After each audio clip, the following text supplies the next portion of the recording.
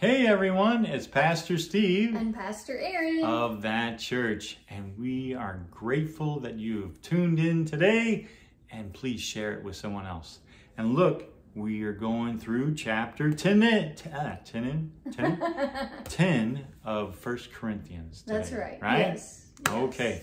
So here, let's pray and we'll get right into it. Okay. Okay. So Father, you are awesome, and we thank you for blessing us with with all good from you. Mm-hmm. Inside in our spirit man and on the outside, you are showing up as our Papa. And we thank you for it in Jesus' name. Amen. Amen. So be it. Mm-hmm. We look to you, Lord, to hear what you have to say to us. And here it is. So let's go ahead and uh, chapter 9. Remember, don't be a hindrance to the gospel. Mm-hmm. You follow what the Holy Spirit tells you to do. And here, if you're not seeing what you're supposed to do in the Word, look at Jesus. That's really good. That's that's where you find out yeah. what you you and your ministry is supposed to look like. Right. Because we're following Him. And we're all in the ministry. And we're all in the ministry, right? all right. So yeah. let's get started in chapter 10, verse 1. Here okay. we go. For I do not want you to be ignorant, brethren, that our forefathers were all under.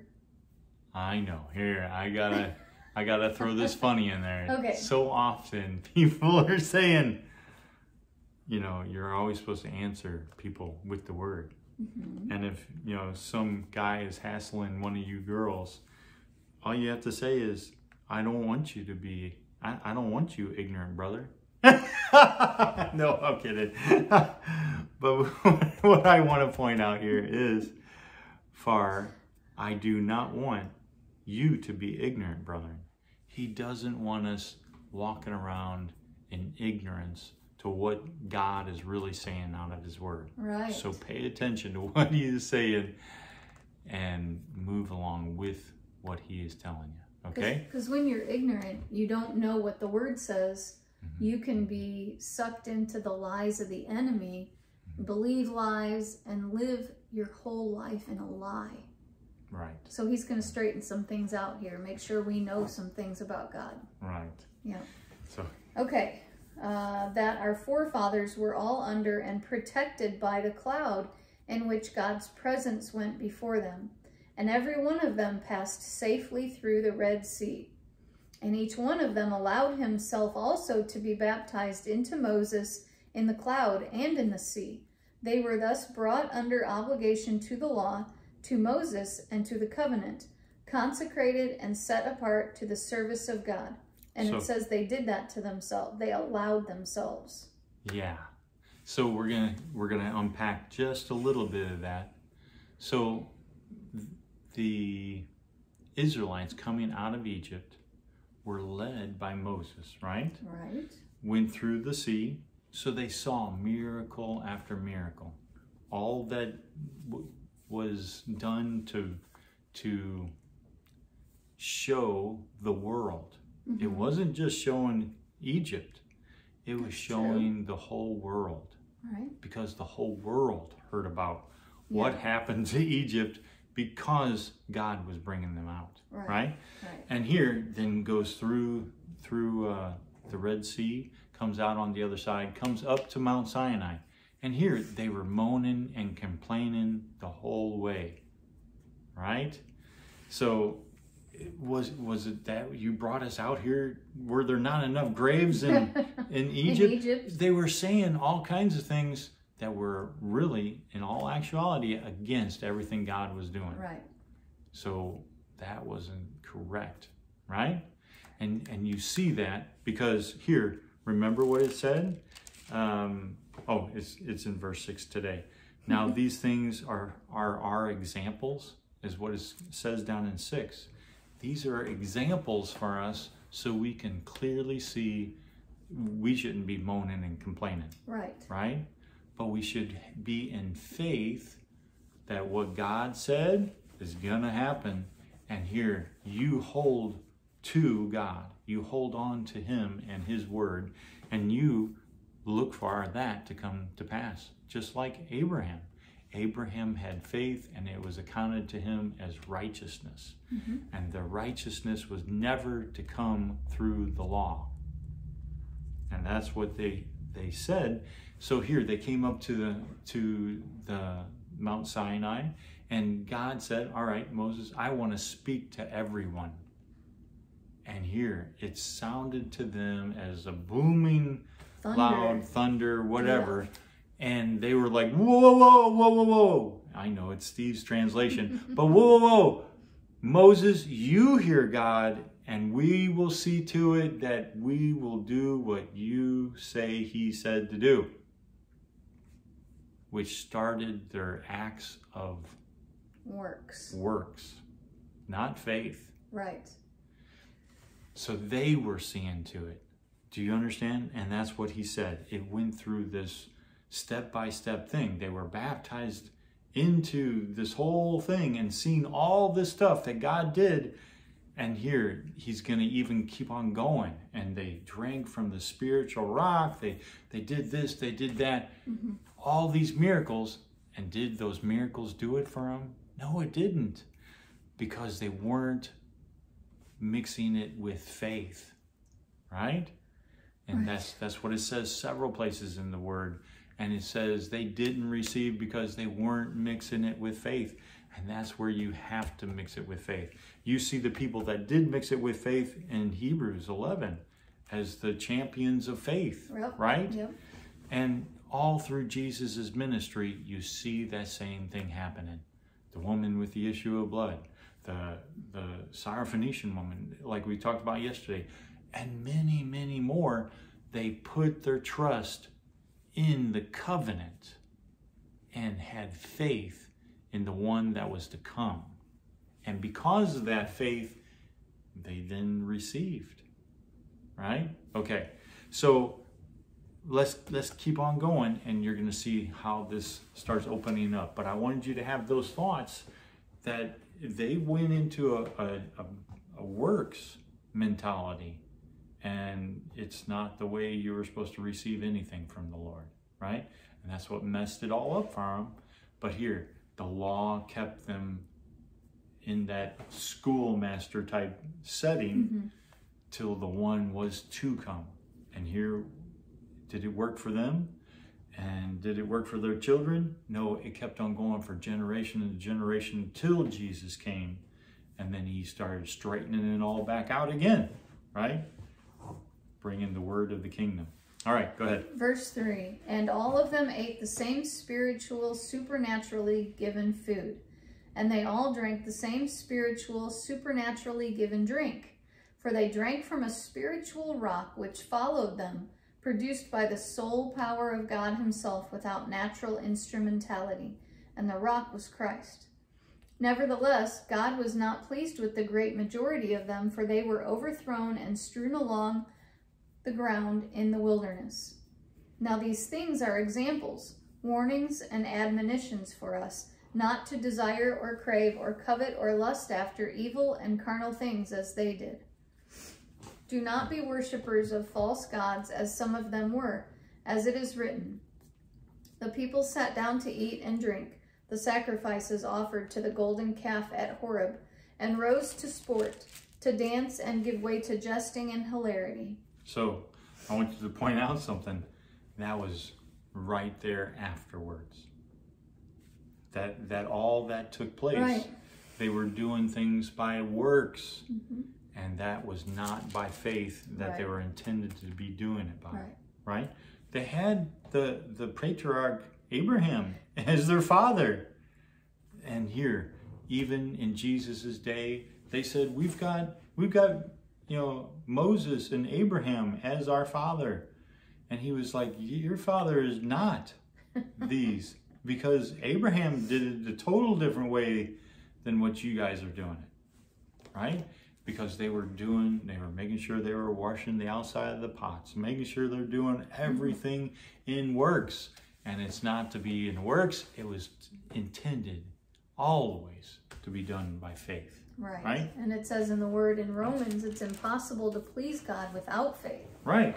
Yeah, and they were looking to themselves, looking to their works, putting putting their what they could do ahead of what God's mm-hmm. grace can do in their life. And, and just what was said, you know, they they took a whole bunch of gold, put it together, and put it into the fire, and it came out a calf.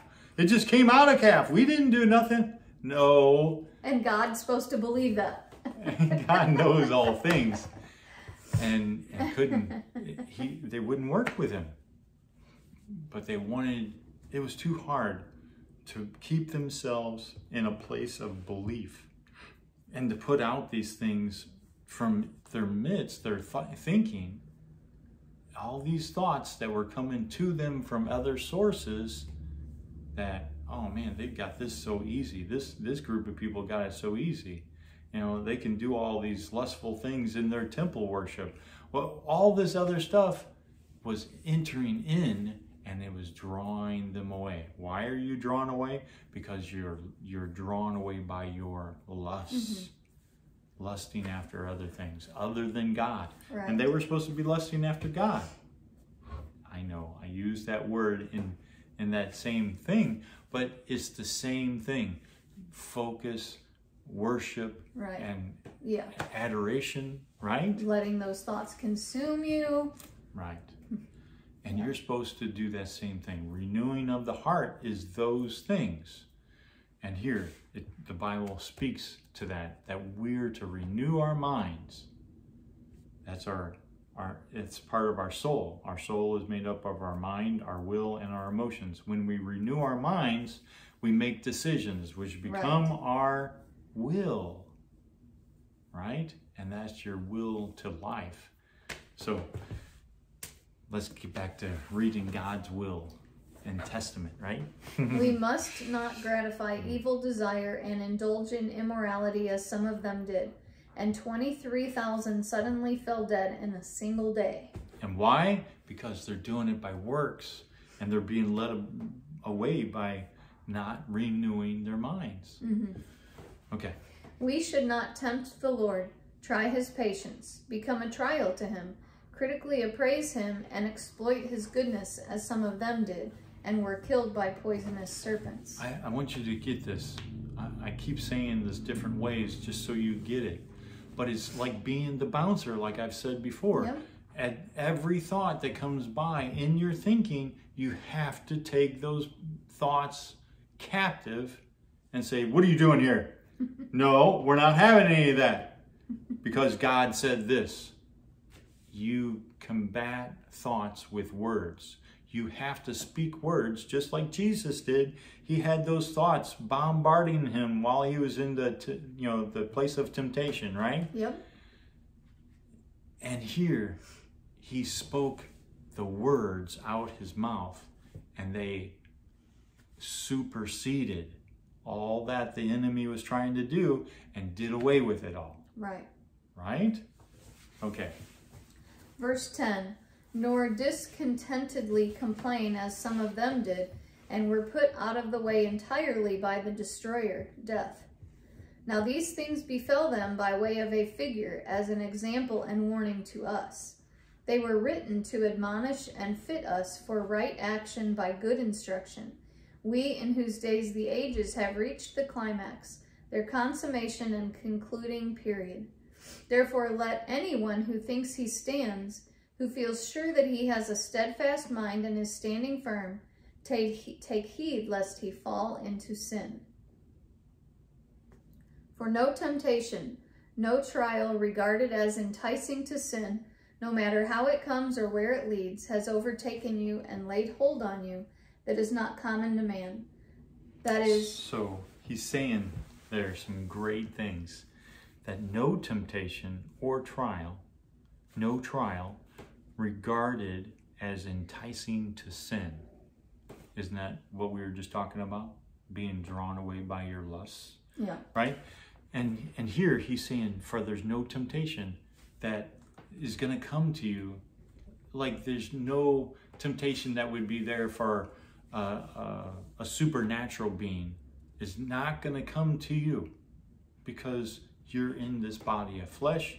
the only way you're going to be tempted is the way people have been tempted for thousands and thousands right. and thousands of years, right? Right. And so all of it is normal and natural to you.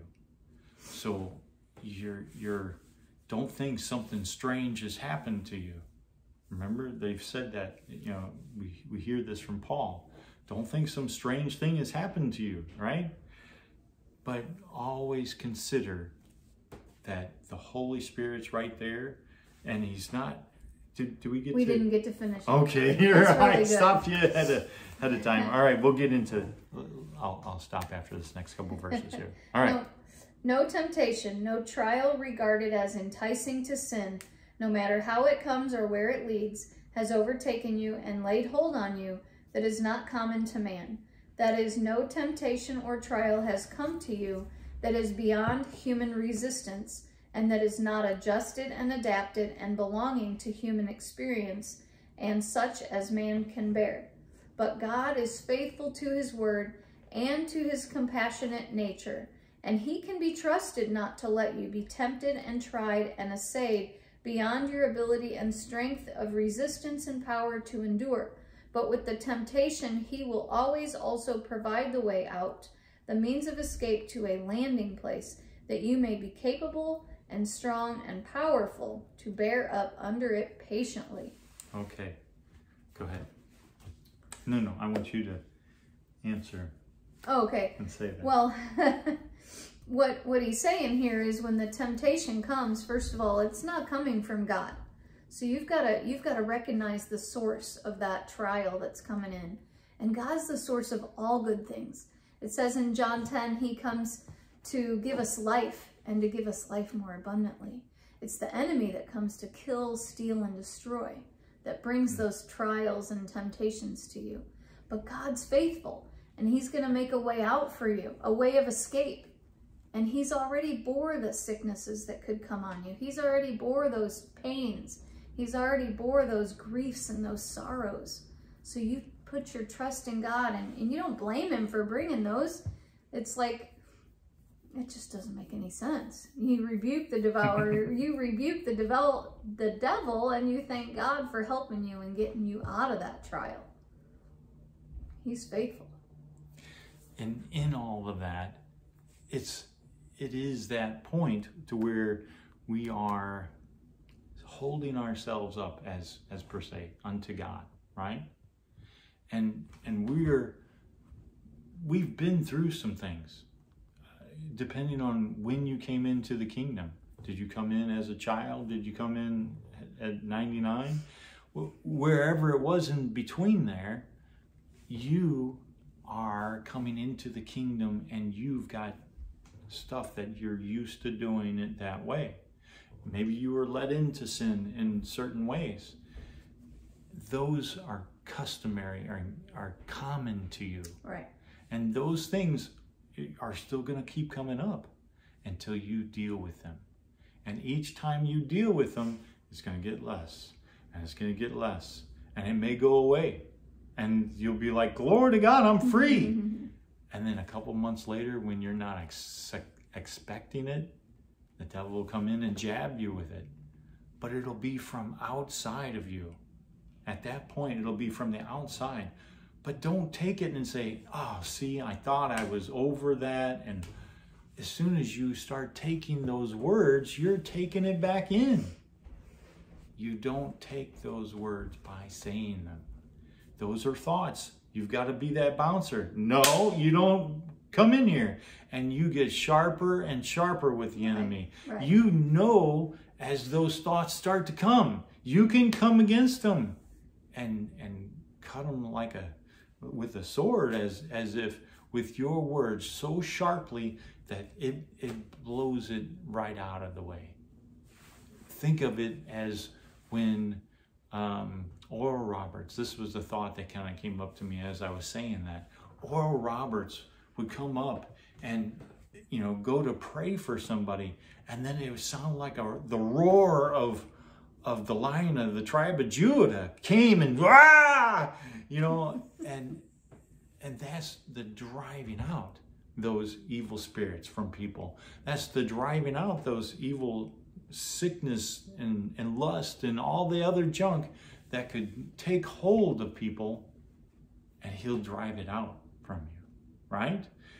Not so much Oral Roberts, but it was the Holy Spirit working with yeah. Oral Roberts, right. working with you, doing the same thing. But you have to stand up and take your place of authority.